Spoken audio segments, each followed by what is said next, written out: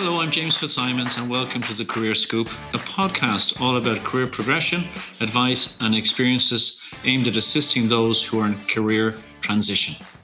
Today, my guest is David Mulville. David is the chairman of Dataflow International. I'm delighted to welcome you to the show, David. Thanks, James. Lovely to be here. Great to see you. Just to kick off, you've you have had a, a fabulously inter- interesting career. Um, you might just give us a very quick overview how you ended up in Beirut.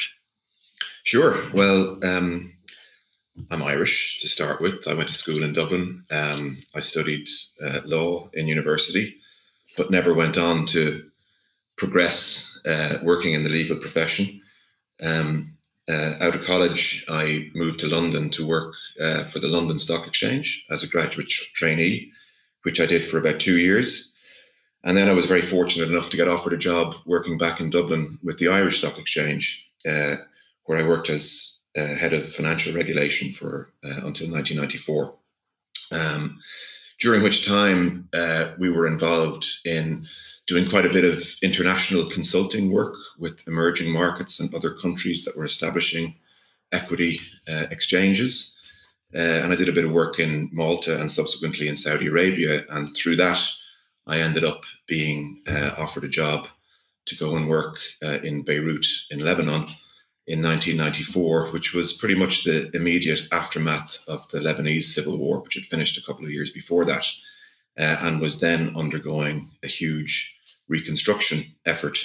So I joined uh, a company called Solidere, which was leading that urban redevelopment, a little bit like uh, London Docklands or or Spencer Dock development in in, in Ireland in recent years that type of thing, but obviously on a very large scale uh, in post war reconstruction. And I joined that as uh, head of corporate finance, and I worked there from 1994 until 1999, whereupon I decided to come back to Ireland to try to catch the tail end of the Celtic Tiger as it was then, and um, joined an Irish software company called Riverdeep, which was uh, a very emerging uh, internet business at the time, and um, I worked there uh, as uh, in, in sort of transaction or corporate finance as well as uh, in charge of mergers and acquisitions. And that company went through an IPO uh, on the Irish Stock Exchange and the Nasdaq Exchange, uh, and I worked there until 2006. when I set up my own business, which is now the Dataflow International business, which is a group of companies focused particularly on e-learning. Um, uh, and I've been doing that uh, ever since.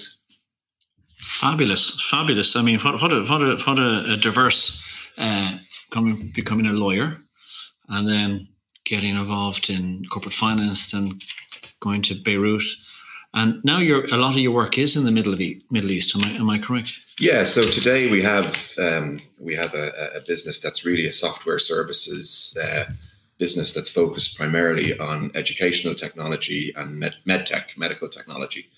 Um, we have about 120 staff working out of our headquarters in Beirut, Lebanon, uh, and a small smattering of uh, staff uh, based in Dublin, and then a kind of a network of consultants that we use for various different projects on a project by project basis.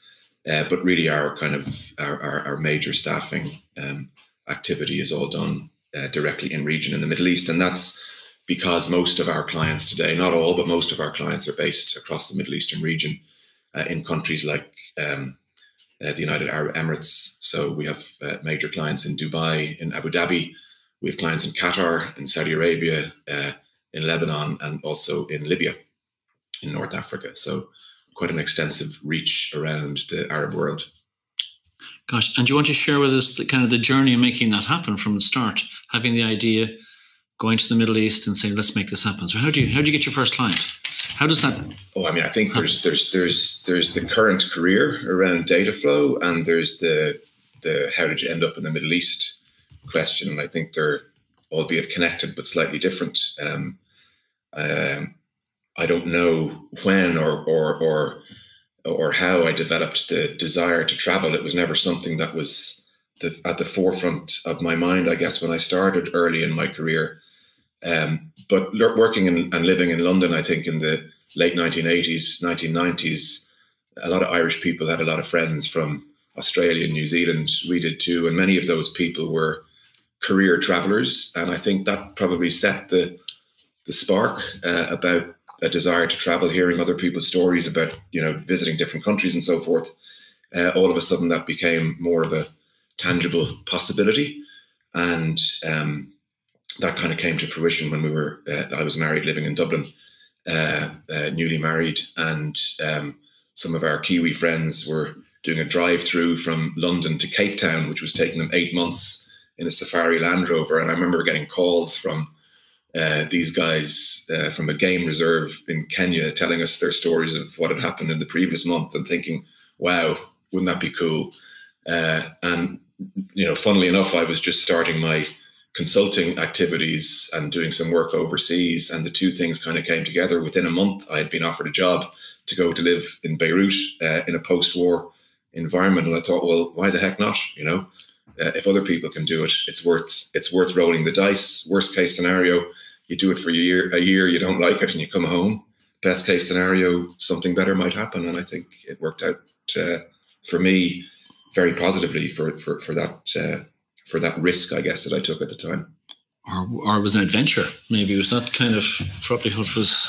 Uh, I mean, there's no doubt there was there was the there was the adventure uh, uh, thing, and realistically, there was a financial thing as well. I mean, the ability at uh, a relative, I was in my you know mid twenties, the ability to go abroad, earn real money uh, in a relatively low tax environment, at least relative to Ireland at the time, uh, but also with really great career opportunity. You know, in that business in Solidere, uh, we were rebuilding over two square kilometers of uh, the downtown of Beirut that had been completely destroyed, and you know, when I went to work there, uh, not only was it Beirut, but it was in the middle of the worst part of Beirut that had been destroyed. I think our office building was the only building with glass in it at the time. And I had to go through four or five Syrian army checkpoints to get to and from the office every day. So it was a baptism of fire.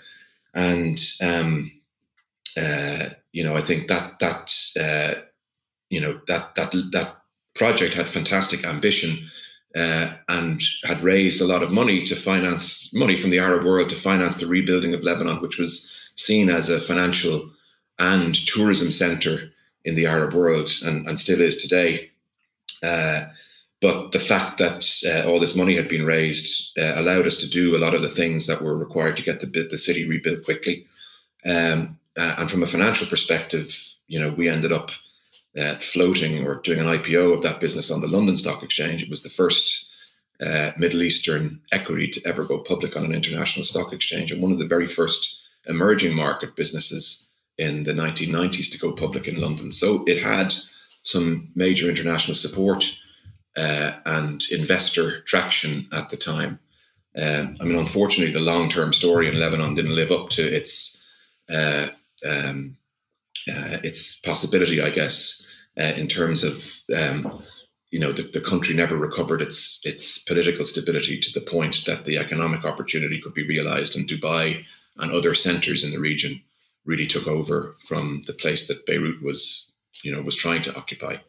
Uh, but nevertheless, from a um, from a you know a project and a career standpoint, it was a fantastic uh, place to spend six years. Yeah, and I'm conscious. Obviously, the last couple of, couple of weeks ago, there was a very tragic event in Beirut. Do you want to bring us up to date, or the listeners up to date, how how Beirut is at the moment? Sure. So, so uh, unfortunately, on the fourth of August, there was a major explosion in the port of Beirut, which, uh, if anybody, well, those who are not familiar with the geography of Beirut, it's a it's a small peninsula that you know um, covers an area of probably about ten square kilometers and um, is uh, you know, very, very densely populated.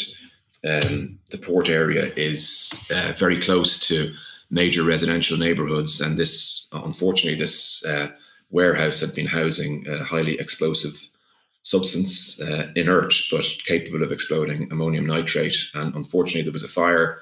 Uh, the warehouse exploded, and a massive blast uh, basically created a huge amount of damage across the whole city including vast swathes of residential neighborhoods that were badly, uh, badly destroyed. Uh, fortunately, the death toll was way less than it could have been, probably due to the lockdown because of coronavirus. But nevertheless, there were major injuries. Uh, I think six or 7,000 people were injured, uh, roughly 300 people were killed.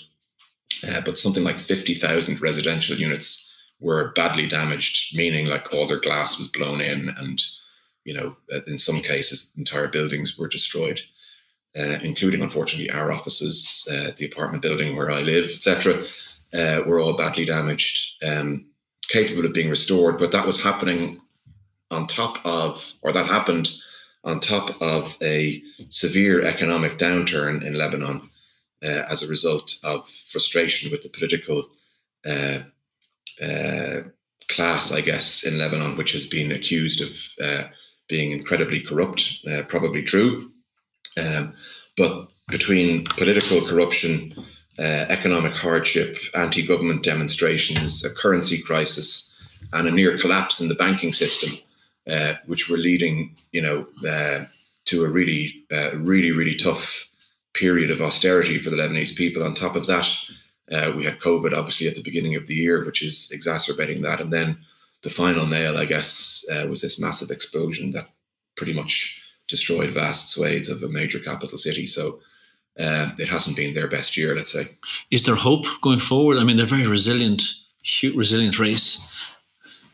I mean, they're incredibly resilient, and you know, I sometimes have to really shake my head and and try to understand how people have done some of the things that they've done. I mean, in the case of that explosion, for example, in August, our internet service providers' offices was right beside the port, and their building was, I'm going to say, vaporized. You know, uh, nothing could have survived it, and um, yet their service was back up online 24 hours later, and they were calling us saying, "No, no, everything's fine. We're we're back operating."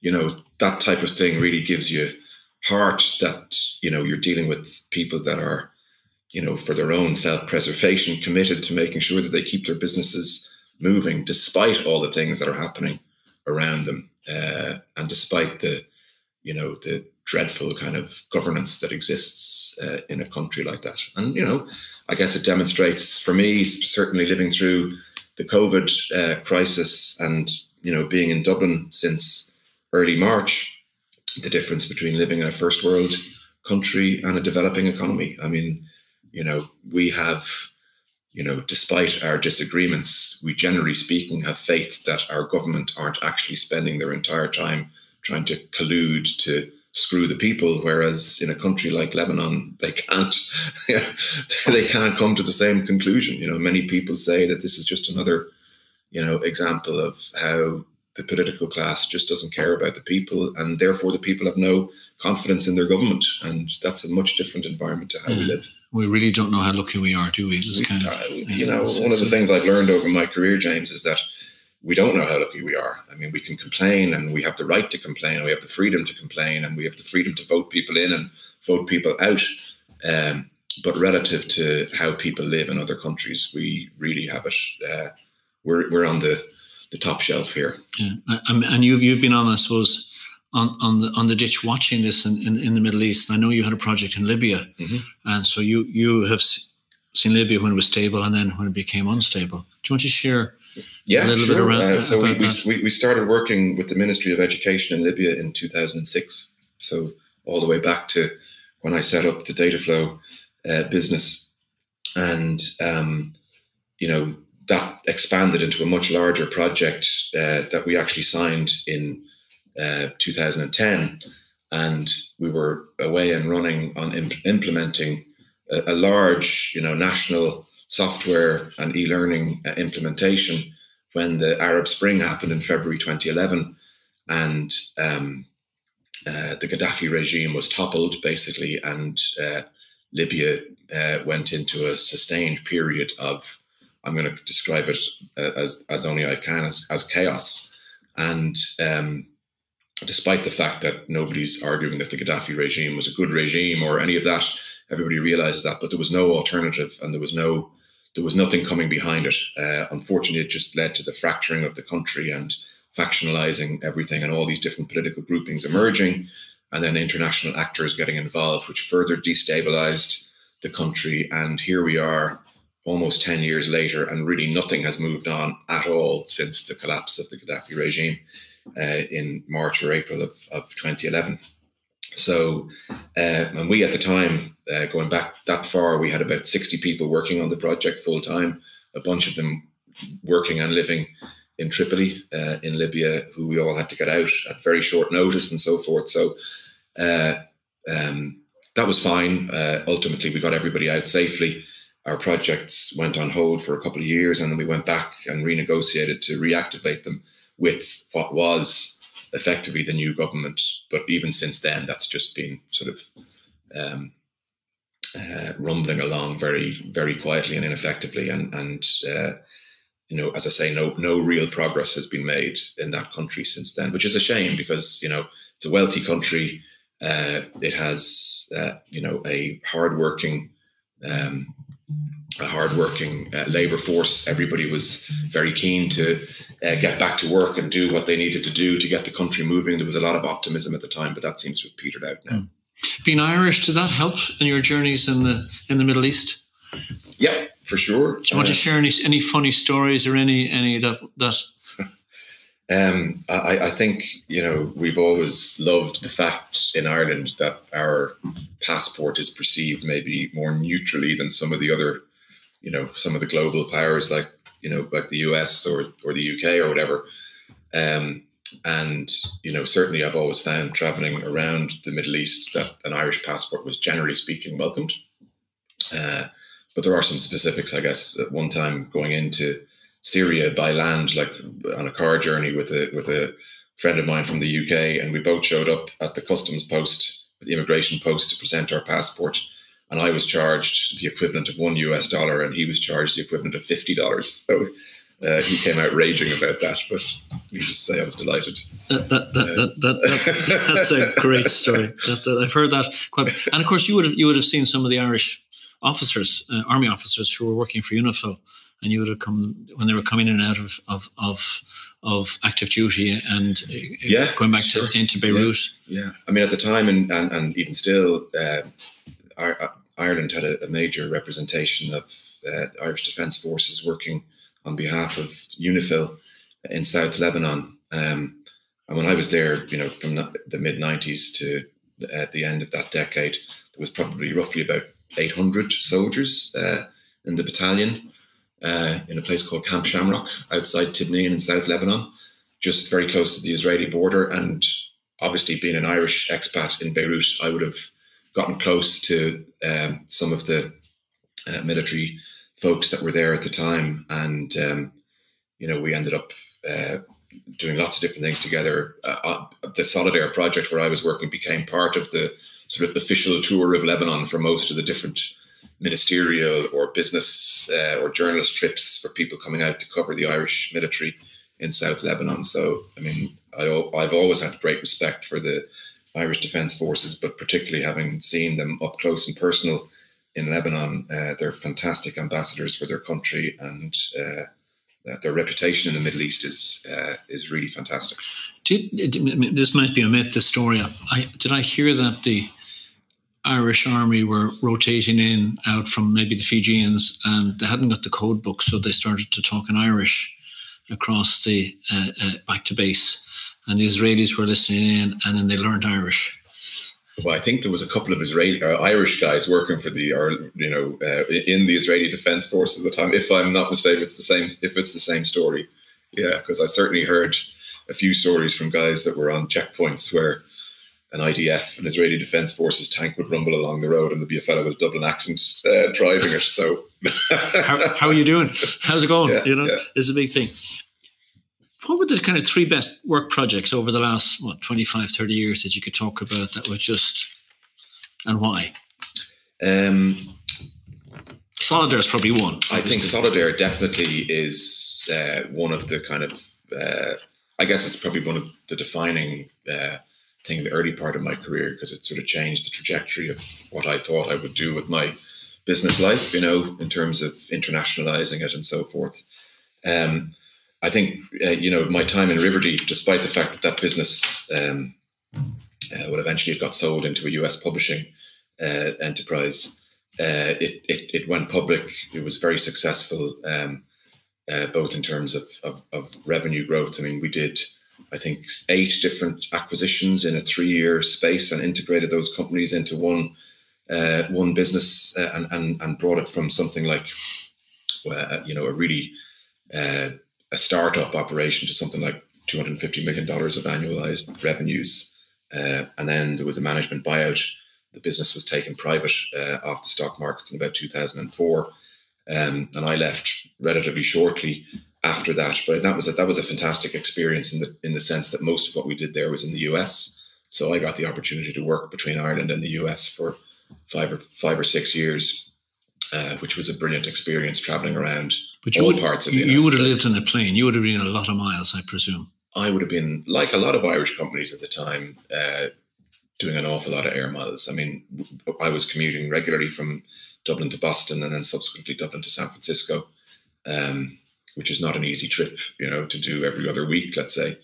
Um, but having the opportunity to work in America, which is a fantastic place to do business, um, and get that exposure and, and travel across the country and go to so many different states and see, you know, see America from a business perspective, but also socially and learn to understand it a little bit better um, that was a brilliant experience. So I would say Solidere and and Riverdeep, and then what I'm doing now, uh, I have to say, is is is very different. You know, it's much more entrepreneurial. I'm a, I'm a self-employed entrepreneur, I guess, at this point in time. Uh, so that brings with it all kinds of different uh, experiences and challenges, I guess. You know, but very enjoyable at the same at the same time. It, it, it's funny listening to you talk, and and and I'm familiar with your journey the last couple of years. My, my sense is that you're really enjoying this journey uh, because it's there's complexities, there's logistics, but you have to make it happen. You don't you have an engine per se that supports you, but going back to Riverdeep where you had all these engines that could support you. Yeah, I guess it's the difference between working in a kind of an institutionalized environment and a non-institutionalized environment, which is very much reflective of what we are today.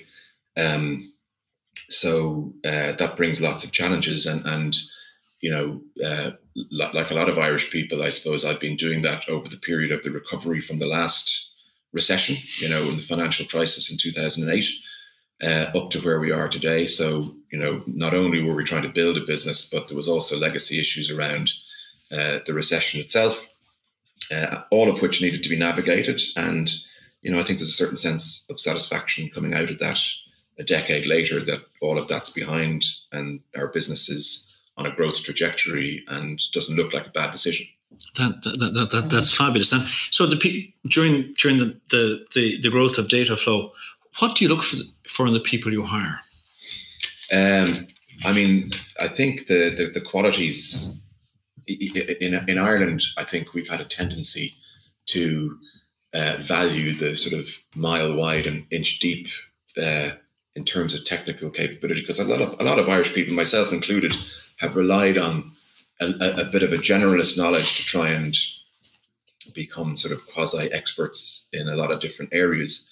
And that can be incredibly effective sometimes, but it can also be quite destructive other times. So I think uh, uh, a depth of knowledge, I, I, I, I, really value sort of people's expertise if they're competent at uh, and have the skills around particular areas. I think that's a huge strength. Um, uh, you know, we all like to say you never like to ask somebody to do something that you wouldn't be prepared to do yourself. But if you don't know how to do it, you need somebody to do it yourself. It's like developing a vaccine for COVID. I'd love to be able to do it, but I can't. I have to rely on the scientists. Or, or doing, have, doing a podcast. Or doing a podcast. Where you may not be technically competent. but, um, you know, I think the other thing is problem solving um, problem solving is a huge issue. Uh, to work with people that are capable of figuring out how to get through issues, not just telling you how bad it is and what the problem is, figuring out how to actually solve it.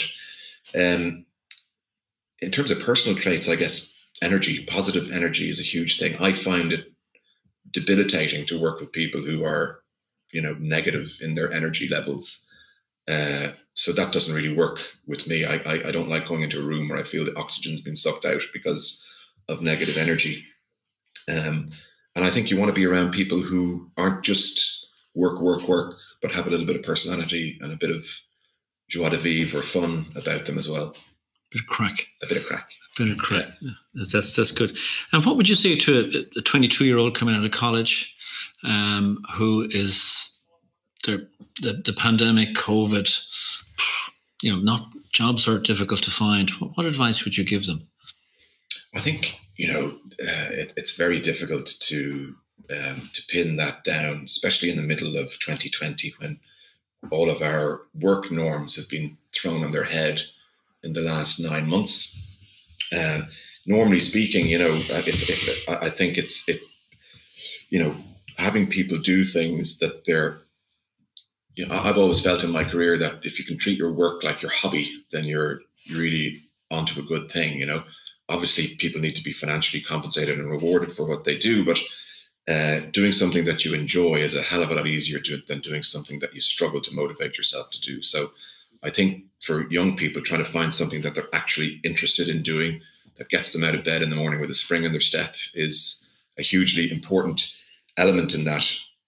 Uh, you know, and I, I think it's nice if people can find a career where they feel that they can make a mark on something, whether it's philanthropic, whether it's uh, in technology, whether it's in any form of career, uh, I think people want to want to be able to say that actually I contributed to that and I'm proud of it.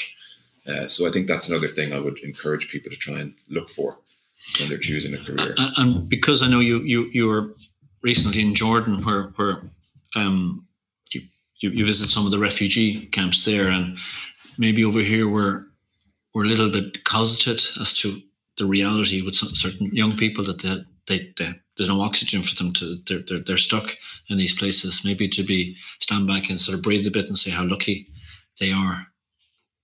For sure. Uh, but it's very hard if people don't have that in their own zone of experience to be able to um, you know to be able to compare somebody else's existence or non-existence really with with their own uh, but you know when i was visiting uh, you know refugee camps in lebanon in the last couple of years seeing eight or nine year old kids who've been taken out of school by their parents to sell plastic bottles on the side of the street, uh, sacrificing their ability to get an education to sell plastic bottles because their parents need the income to buy food. You know, that's a hell of a lot different from somebody deciding what their, you know, career choices are going to be coming out of school. Uh, not to not to diminish that because that's a really important thing too, but it's also a privilege to have got to that point in your life and to be born into a country where that provides you with that opportunity. I understand. David, my, my next question is about n- networking. And you might just uh, share with us and the listeners your experience over 25 years. Uh, one of the other participants in, in the Career Scoop, Kingsley Aikins, was talking about this, and he's kind of a guru and uh, hugely experienced in it. You might share your experience going around the world and how networking has helped you move forward.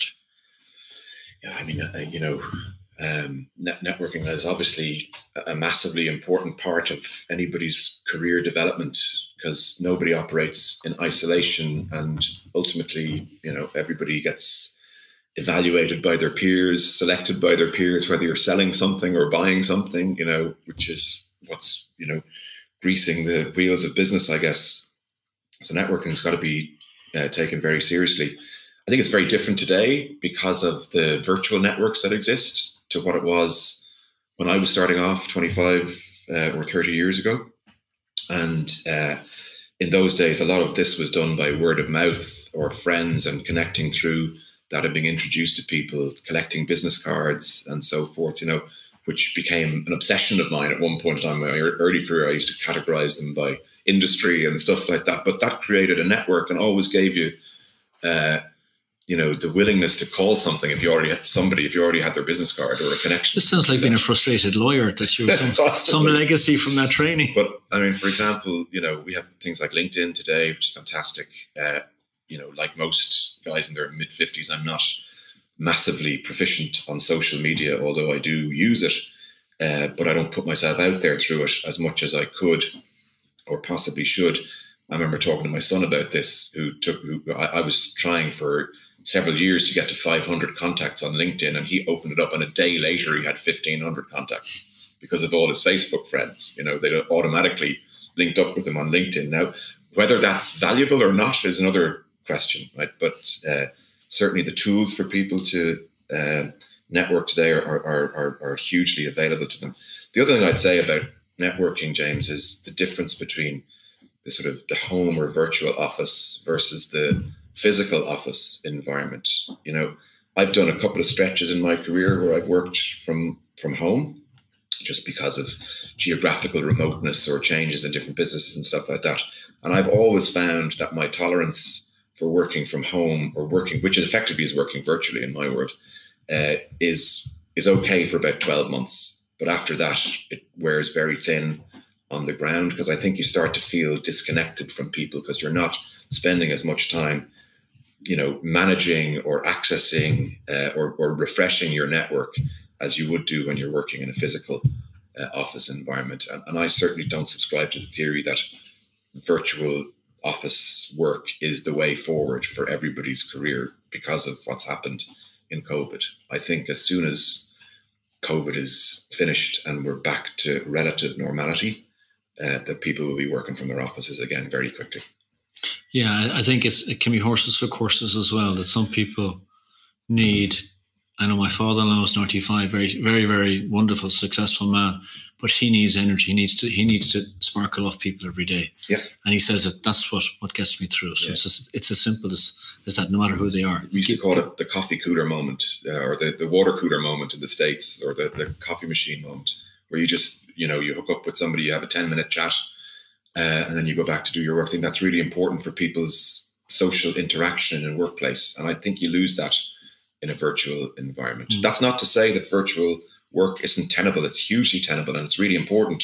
And I'm a big proponent of that. I just don't think they're mutually exclusive. I think they should operate together. Or maybe as you say that, just a thought comes to mind that people maybe should then double down on trying to do a little bit of networking around that. So they actually reach out to people and and as one of the participants said, you should give something before you ask for something. Mm-hmm was really clever. Actually, there's some interesting technology uh, initiatives in that where there are virtual conferencing companies emerging now that are hosting conference purely in a vir- conferences in a purely virtual environment with networking built in and advertising and all those different things. It'll be interesting to see how much traction those types of businesses can generate to sort of replace real conferences with virtual conferences, if that's a possibility. Yeah.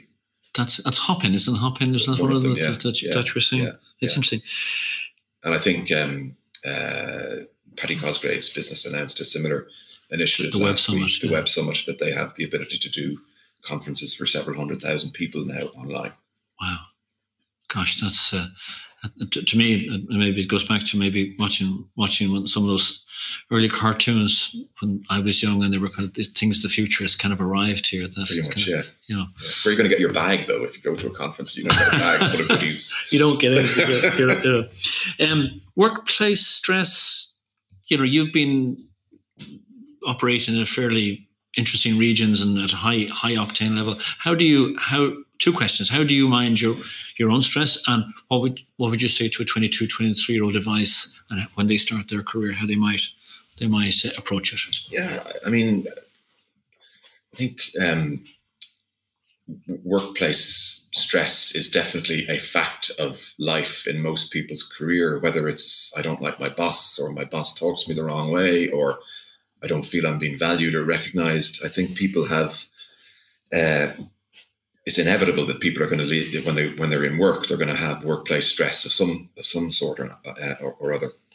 I think uh, it's a very different type of working environment today to when you or I started our careers, which were much more kind of patriarchal, I guess, or um, uh, less collaborative, let's say, than they are. Much much more around instruction and learn what you're told, do what you're told, learn it this way, do it that way etc. I think people have much more opportunity to be collaborative in work uh, than before, um, and you know the, the, alternative to that being much more sort of individual focus, you know, and and focus on what you are doing and am I doing it well? Am I going to get paid for it, and so forth. So I think it's very different in today's work environments, but doesn't mean it's not stressful. Um, I think uh, I've worked in environments where it was very sort of alpha in its in its tone, and a lot of people were, you know, in conflict all the time. That's very can be very stressful as well. But I saw a lot of people fall foul of that and end up with you know severe kind of work stress, uh, almost to the point of nervous breakdowns and stuff and so forth. So I think you have you really have to manage that carefully, uh, and everybody has to do it their own way. Some people like to do it by socializing; others learn their mindfulness or you know their their breathing and and all sorts of stuff. I, I do a little bit of that. Um, I think that's a very un, undervalued uh, technique to be able to shut your brain down for a while and put your brain on ice and not let you know work or thoughts dominate uh, your life all the time. You've got to find space to be able to manage that correctly. Um, but I also think extracurricular activities, whether they're sport uh, or socializing or going to the theater or whatever it is, are great ways to break that chain where you know the only thing you think about is work, which is very negative. That's toxic. Yeah, no, it's it's yeah. it's, it's, getting the break, giving yeah. the, your, your your brain a break. Yeah, on one level. Yeah, that's interesting because funny. Everybody has their own individual way of of, of, of working working through that. My last question: um, five words to describe your career. Well, I mean, you know, thankfully you showed me some questions before we started talking because if I was to pick five words uh, right off the bat, I'd struggle.